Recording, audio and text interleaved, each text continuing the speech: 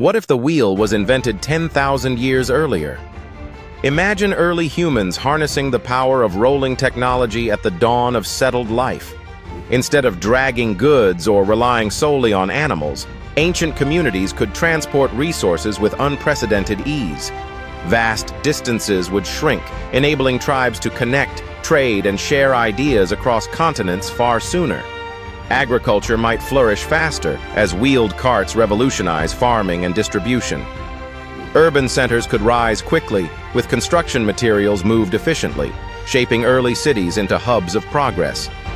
The spread of knowledge, written symbols, inventions, even art, would accelerate, fostering cooperation and perhaps even peaceful alliances. New challenges would arise, too.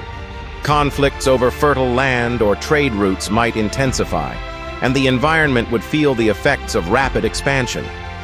Would societies organize differently, with power shifting to those who control the wheel and the roads it rolls on? This single invention, arriving millennia ahead of its time, could transform everything we know about the journey of human development.